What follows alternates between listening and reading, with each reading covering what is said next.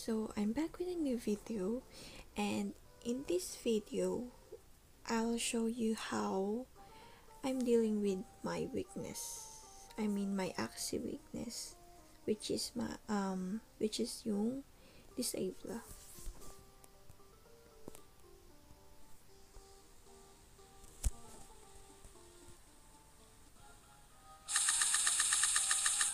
Okay, so sakto din naman pala tong video na to. I mean, tong team na to kasi I think last time pinakita ko yung two plant and a bird and two plant and a beast as well, I think. And now, two plant with um aqua. So, ipapakita ko muna yung card ko.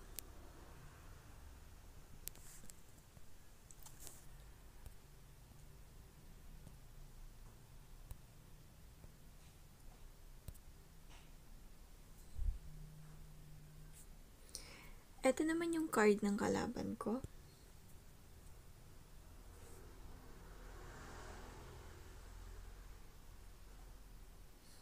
So, may disguise, juggling balls, and spicy surprise which with vegetal bite. So, yung aqua niya may shell job, swift escape, risky fish, and tail slap. Yung tatlong card niya is yung mga na-nerf. Pero may 57 speed siya, so edge niya yun. And yung isa niyang plant may Cerastes, Surprise Invasion Cerastes, Juggling Balls, and yung weakness ko, which is Nami Liquidation. Usually, nakikita ko tong Juggling Balls together with Poison. Kasi every, three hits kasi to, three strike yung juggling balls. And pagka every hit niya, nagbabawas din yung poison. So, usually sa ganun ko nakikita itong juggling balls. Pero wala siyang poison, so I don't know. Pero maybe damage lang yung habol niya dito. Yep, so let's see kung ano ginawa ko sa first round. Okay, so um, inisip ko kasi may pang steal siya eh. Maybe mag steal siya. Kaya mas pinili kong tumira ng damage than pang steal and prickly trap kasi nahuhuli yung plant ko. So, yung shell job, saka lang yung ma-activate yung 130% damage pagka ideal yung um, na attack niya. Meaning, like, maybe walang shield or anything.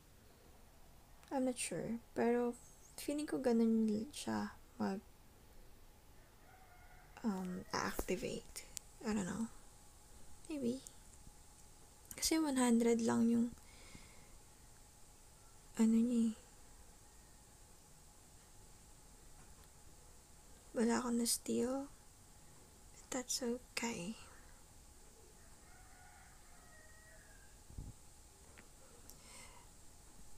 Oh, oh, so sa next round, um, nilagay ko na yung dalawang carrot ko. Kasi, I don't know, feeling ko maybe um, wala pa siyang vegetal bite or something. Kaya tinira ko na. And good thing hindi niya ginamit yung vegetal bite niya. Ah, walang kasama yung vegetal bite niya. That's why. Okay. Nag-gain siya ng energy doon. Pero buhay pa din naman yan. And yun. Grabe, nag-critical. yung 3 strike na yun, may chances pa yun na mag-critical. So, nakita niyo naman yung critical niya. And buhay pa din siya. Okay, so, ang ginawa ko, nag, um, discard card lang ako and nag, um, Nemo and clamshell.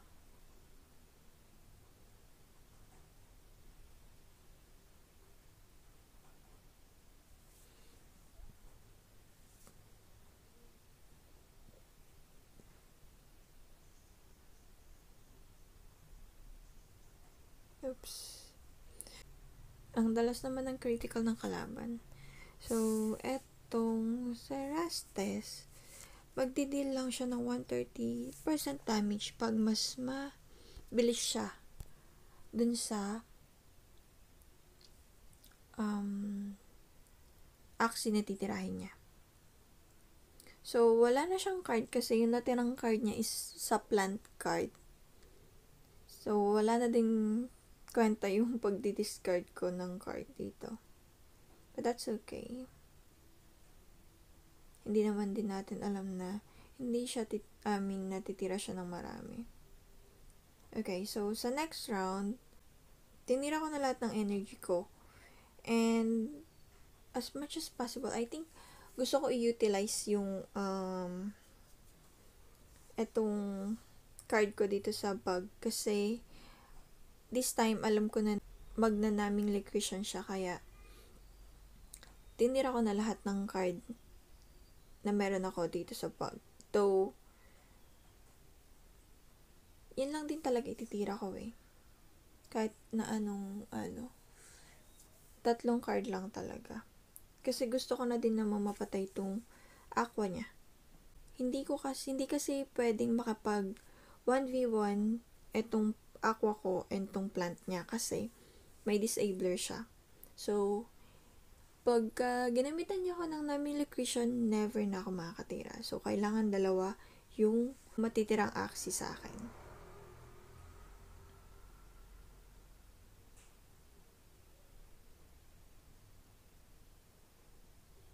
And dinaming na niya ako. Yep. So, nawalan siya ng card dito. Okay. So, hindi ako nakatira and mas pinili ko mag-pass kasi wala din naman magagawa tong Nemo and Swift Escape ko for now kasi mataas yung shield niya. And since na namin electrician yung bag ko and wala yung um, nag-iisa kong range card which is yung third glance, wala akong magagawa kundi mag-pass.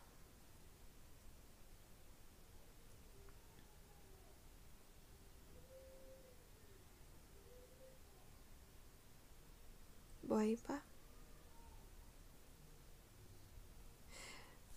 Okay, okay, buhay pa siya, but again, hindi ako makakagamit ng any card dito sa bag ko kasi wala um, puro mili card kasi yung bag na to except dun sa third lens. And ayoko pa din munang tumira dito sa aqua ko kasi gusto ko pag tumira ako mamaya 4 cards na agad yung ititira ko. And since nakita ko naman yung dalawang naming lecretion niya, I don't know, feeling ko hindi pa yon lalabas later. Kasi dalawang magkasunod eh.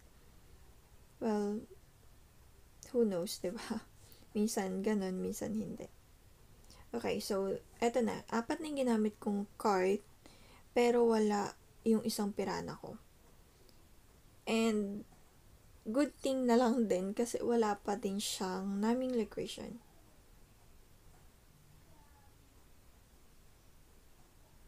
Round 7. Oh, critical.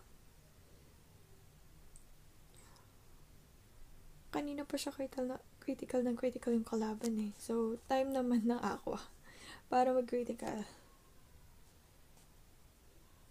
Uy, nag-stop siya dun. Ano nangyari? Hindi na siya bumalik. Okay, so buhay pa. so weird. That's so weird. Okay, so, okay, maganda yung ikot ng card ko. And, bumalik yung isang pirana ko. And ngayon pa lang lumitaw yung naming equation niya, which is good. And wala na din siyang energy, kaya um, low na yung shield niya. Nagkinikal ako ulit. okay. And yun. Noon ako natalo sa weakness kong team. I mean, hindi kasi talaga kaya ng team ko yung naming liquidation kasi yun nga, um, puro mili yung card ng team ko. So, pwede kang lumaban pagka dalawa pa yung natitira na uh, aksi mo sa team mo. Kasi, um, pwede, minsan kasi pagka ginagamit niya ng ginagamit yung mga card niya, I mean, tatlo-tatlo lang kasi ba yung labas ng card and madalas yung ginagamit yun lahat. May chance na hindi bumalik agad yung mga naitira na niya. Kasi, yeah, pwedeng bumalik. Swerte na lang talaga niya yun kung bumabalik ng bumabalik yung card niya. Though, alam mong tatlo na lang talaga yung maibibigay na card sa kanya. And, kung umiikot ng ganun yung and kung umiikot ng ganun yung yung card niya, then malas na lang talaga. But, yeah. Doon, medyo nasortahan ako doon kasi yung ikot ng card niya is tama lang. Which is, ganun naman dapat talaga. I think yung ikot ng card. Pero, yeah. Minsan, minsan talaga, hindi. anyway, so yeah. Ito na ul... No. Ito na, ito lang ulit yung video ko for today. And thank you guys for watching and see you guys on my next video. Ay, salamat pala sa lahat, lahat, ng mga nanonood and nagsa-subscribe sa video, I mean sa YouTube ko. Yan. Um, see you guys. Bye.